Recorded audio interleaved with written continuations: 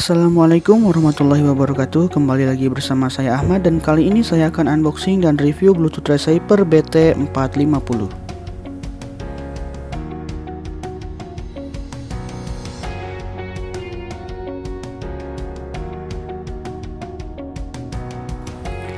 Oke ini adalah boxnya. Ini bagian depannya wireless receiver BT450 atasnya juga sama kemudian di belakangnya ada features and specification. Oke langsung saja kita buka ada apa saja di dalamnya. Yang pertama ada kabel micro USB kemudian ada jack audio 3.5 kemudian ini ada bluetooth receivernya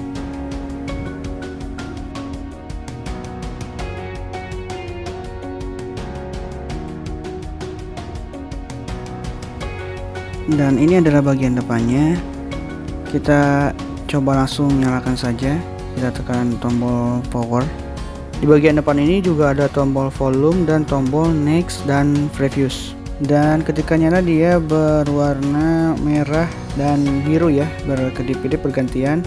Di bagian atasnya ada lubang jack audio.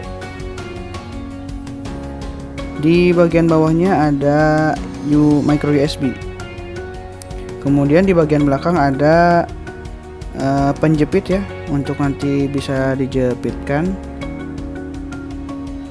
Pada baju atau saku mungkin ya. Kemudian kita coba hubungkan saja.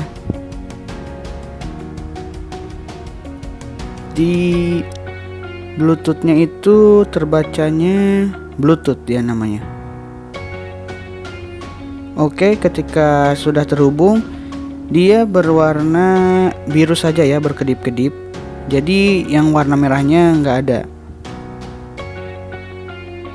Kemudian kita coba masukkan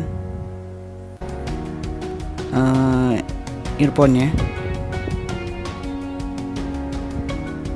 Oke. Okay.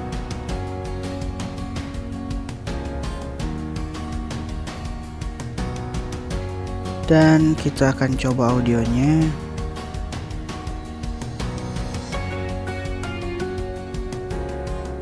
Ini volumenya paling tinggi ya.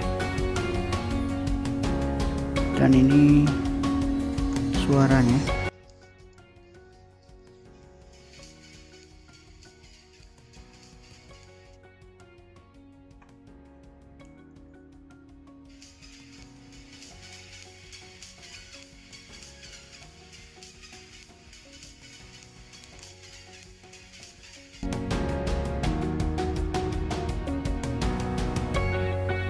tombol next dan previewsnya berjalan dengan baik ya. Dengan sekali klik itu akan uh, lanjut ke musik atau video selanjutnya. Dan previews diklik sekali juga akan kembali ke musik atau video yang sebelumnya. Kemudian untuk menaikkan volume kita cukup tekan saja lama pada plus untuk menaikkan dan pada gambar minus untuk menurunkan tapi tombol volume ini tidak mempengaruhi volume dari smartphone. Jadi dia seperti punya volume sendiri pada Bluetooth wirelessnya. Kemudian kita akan membahas pemakaian dari Bluetooth receiver ini. Oke, dengan volume seperti ini, dalam waktu satu jam, baterai yang tersisa adalah 60% kemudian dari satu jam berikutnya baterai yang tersisa yaitu 40% kemudian pada setengah jam berikutnya dia berkurang jadi 30%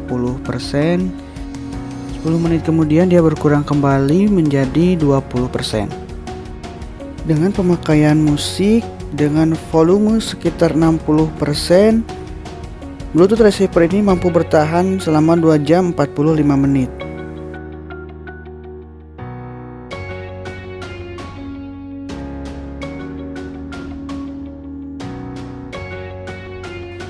Kemudian masuk ke proses pengecasan, kita colokkan micro USB dan lampu merah akan menyala. Itu tandanya pengecasan sedang berlangsung. Untuk lama pengecasannya sendiri ini saya cas dari jam 3